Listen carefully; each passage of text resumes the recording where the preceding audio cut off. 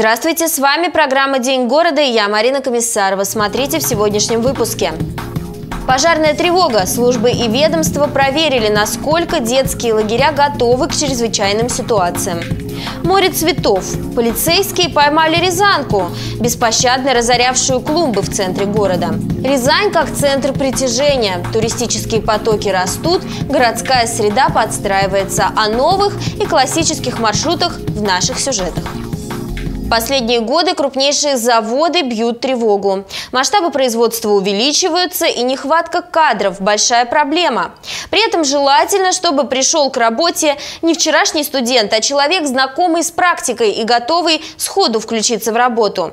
На подготовку таких кадров направлен проект Общероссийского народного фронта профстажировка.рф.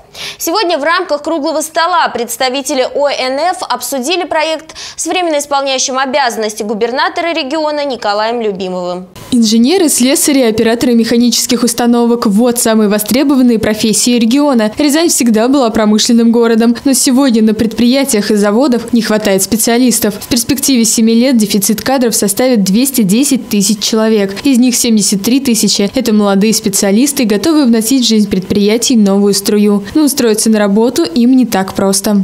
Больше всего, конечно, не хватает высококвалифицированных кадров. Это специальности 5-6 разряд, инженеры, люди, которые могут работать со сложным оборудованием. И вот как раз здесь проблема, что а, работодатели не берут людей без опыта. А стажировка и преддипломная практика, что это такое? Это фактически вход в профессию. Это первый опыт. И важно, чтобы, как это было и в Советском Союзе, как сегодня в развитых странах, а, важно, чтобы этот вход в профессию был по специальности, чтобы карьерный трек у молодого человека выстраивался правильно. Для решения проблемы активисты Общероссийского народного фронта создали портал профстажировки.рф. На нем может зарегистрироваться любой желающий, причем как студент, ищущий место для прохождения практики, так и выпускник вуза, которому не хватает опыта для трудоустройства. На сайте уже размещена 371 стажировка от 250 компаний. В первый месяц работы проекта на них откликнулись более полутора тысяч студентов. Стоит отметить, что портал всероссийский, поэтому подать заявку можно на любое предприятие Российской Федерации. Скоро на нем появится и Рязань гражданские вакансии.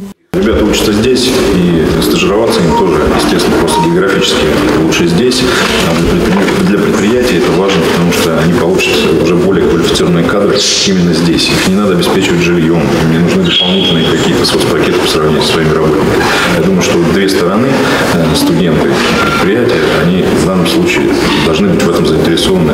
Стоит отметить, что наличие молодых квалифицированных кадров сегодня становится решающим фактором для прихода в регион иностранного капитала. Поэтому свои идеи и опасения по привлечению специалистов высказали представители власти и крупнейших предприятий Рязани. Версий прозвучало много, в том числе было отмечено, что найти общий язык с новым поколением не так просто из-за смены системы ценностей.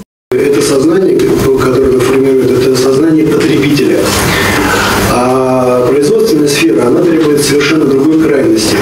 Нам нужны созидатели. То есть это практически мы, когда получаем там студента, да, мы должны полностью не направить его там желание туда и сюда, мы должны просто его сознание перевернуть. Проект профстажировка.рф – это лишь первая ласточка по привлечению молодежи к рабочим специальностям. Укрепление их престижа – вот основная задача, которую ставят перед собой авторы. Работать на заводе, быть инженером сегодня должно стать так же модно, как несколько лет назад юристом или экономистом. Только тогда мы получим по-настоящему сильную экономику региона. Сегодня прошла тренировка по эвакуации детей и персонала муниципальных лагерей при угрозе возникновения пожара. С развертыванием пункта временного размещения во Дворце детского творчества в рамках учений снимались с рейсов автобусы, засекалось время на их прибытие, размещение в них детей и персонала. Цель всего происходящего – реально оценить процесс. Подробнее Валерий Седов. От теплой погоды в лесах начался пожар. В Рязани введен режим чрезвычайной ситуации. Проводятся работы по эвакуации населения области. На место происшествия выехали оперативные группы. В администрации города развернут оперативный штаб. 9 часов 7 июня в одном километре западнее района Солодча произошел, произошел э, обнаружен очаг пожара, лесного пожара площадью 20 гектаров. Распространение огня происходит в сторону оздоровительного лагеря «Сказка», лагеря «Смена» и лагеря «Исток». Вследствие сильного задымления и угрозы жизни здоровья э, детей, персонала необходимо провести эвакуацию детских оздоровительных лагерей. Сегодня, 7 июня, проходит эвакуация сразу трех детских лагерей. Это «Исток», «Сказка» и «Смена». Услышав сирену, дети должны моментально на нее отреагировать. Вожатые воспитатели организуют их и приводят в точку сбора.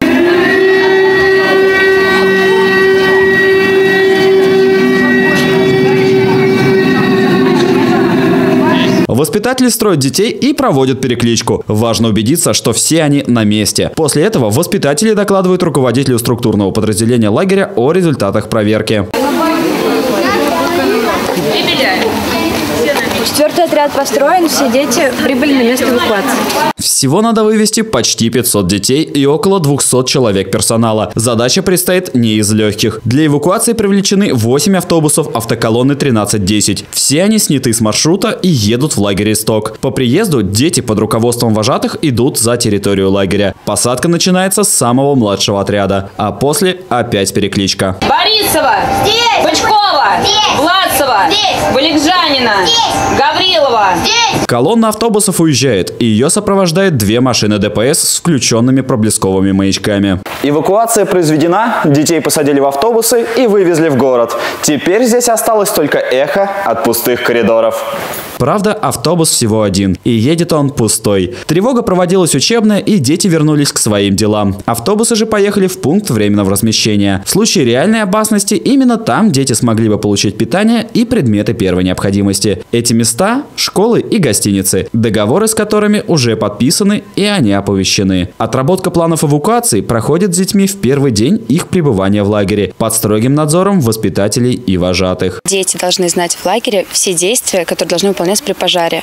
То есть, как они должны выбегать, как они должны строиться, как вожатые должны их пересчитывать, как они должны все стоять, передвигаться в автобус. Дети должны все это знать. По ее словам, дети на такую тревогу реагируют спокойно. Старшие и младшие отряды четко выполняют отработанные заранее действия. Э, я думаю, что это правильно, что нас э, подготавливают к разным ситуациям. При пожаре нельзя волноваться. Если будет один раз такое случиться, мы уже будем знать, как эвакуироваться, и быстрее будет. Я собралась э, быстренько. Я решила сразу собой взять телефон, чтобы папе сразу позвонить. Вот. Э, и я, я быстренько построилась, и мы прошли э, место сбор для эвакуации. Я считаю, что это правильно, потому что надо подготовиться к настоящей эвакуации. Сейчас жизнь в лагере течет своим чередом. Дети играют в подвижные игры, будто бы никакой эвакуации и не было. Но теперь все действия четко отработаны. Ведь, как говорится, тяжело в учении, легко в бою. Согласитесь, в нынешнем году работы по украшению улиц города цветами ведутся плотно. Вот только жители Рязани не всегда это ценят. Беспощадно разоряют клумбы, высаженные в общественных местах. Скорее не подростки-хулиганы, чаще всего это взрослые люди. Прошлую пятницу в отдел МВД России по Советскому району сообщили о пропаже саженцев тюльпанов из клумб на Первомайском проспекте. Кража произошла средь бела дня. В общей сложности было похищено более двух тысяч луковиц тюльпанов, которые ранее высаживала дирекция по благоустройству города. Сотрудникам полиции удалось найти цветочного вора. Сотрудники полиции провели мероприятия, в результате которых установили причастность к краже 67-летней жительницы города Рязани. Женщина была доставлена в органы внутренних дел для дачи объяснений. Сейчас по данному факту проводится проверка. Полицейские пытаются выяснить, что заставило 67-летнюю жительницу Рязани пойти на такое злодеяние. Дело бывшего архитектора Рязани о взятке направлено в суд. Наталья Харибутова обвиняется в совершении четырех преступлений, обозначенных в Уголовном кодексе как получение взятки в значительном крупном и особо крупном размерах. Преступление выявлено при тесном взаимодействии Следственного управления с МВД России и региональным управлением МВД э, в ходе расследования иного дела, находившегося в производстве следователей. По уголовному делу изъят и осмотрен большой объем документации, э, который подтвердил общее покровительство должностного лица в отношении вышеуказанного директора строительной организации – под тяжестью собранных доказательств обвиняемая полностью признала вину в совершении инкриминируемых ей преступлений. В настоящее время следствием собрана достаточная доказательственная база, в связи с чем уголовное дело после утверждения прокуратуры области обвинительного заключения направлено в суд где и будет рассматриваться по существу. В Рязани на улице строителей 16-летний подросток на шестерке въехал в дерево. В результате происшествия юный водитель, а также ехавшие с ним два сверстника для оказания медицинской помощи были доставлены в больницу. Что грозит молодым гонщикам и их родителям, расскажет Валерий Седов.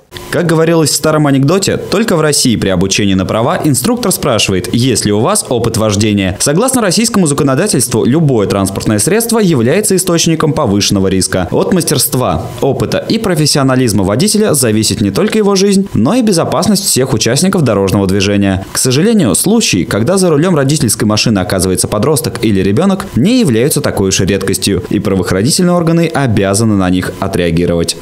Случае установления фактов передачи родителями транспортного средства своим несовершеннолетним детям, э, данные родители могут быть привлечены к административной ответственности по части 3 статьи 12.7 Кодекса Российской Федерации об административных правонарушениях, в связи с чем э, на данных родителей налагается административный штраф э, в размере 30 тысяч рублей. Административный протокол направляется в комиссию по делам несовершеннолетних, где ребенка могут поставить на учет. Такая отметка не проходит бесследно. Если он захочет в последующем поступить в военное учебное заведение, то будет направлен запрос в комиссию по делам несовершеннолетних, и тогда все тайное станет явным. Правда, подросток может и исправиться. Нередки случаи, когда за время постановки на учет ребята показывают себя с хорошей стороны, и тогда по ходатайству от учебного заведения, либо по решению комиссии отметка об учете снимается. Но и для родителей такое правонарушение тоже не проходит бесследно, и уйти от руки закона не получится. До 18 лет они несут ответственность за ребенка.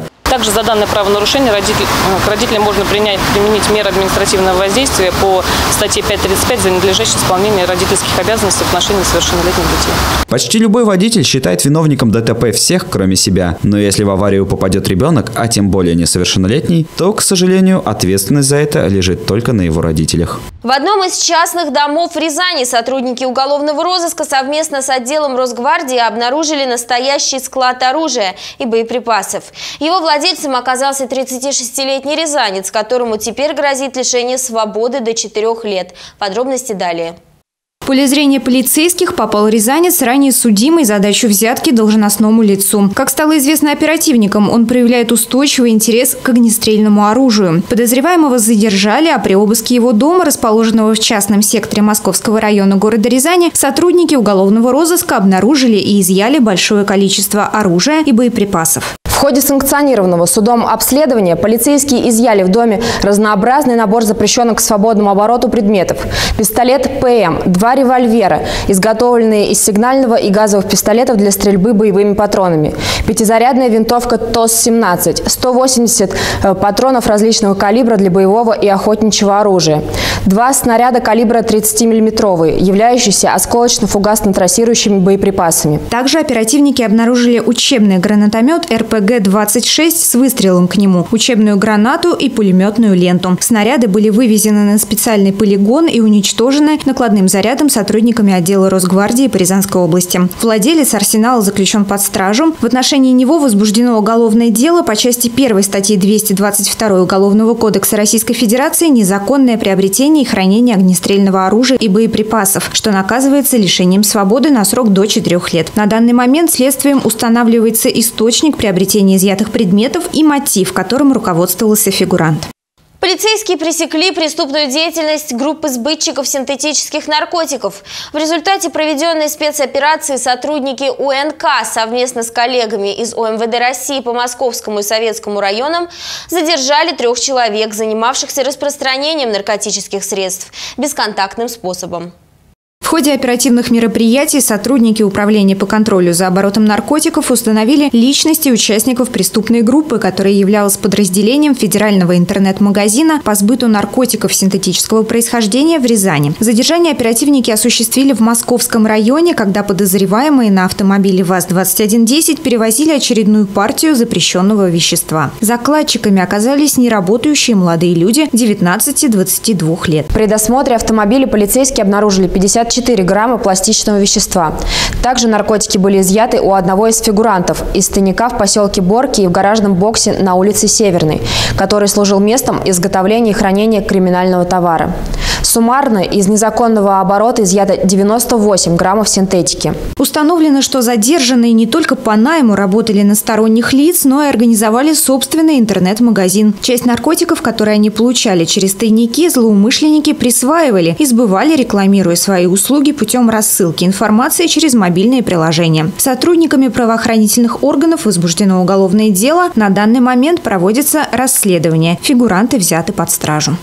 Согласно прогнозам, в летние месяцы ожидается троекратное увеличение туристического потока в Рязань. Город древний, красивый, с богатой историей и культурой, и в последнее время изящно дополненный новыми интересными локациями.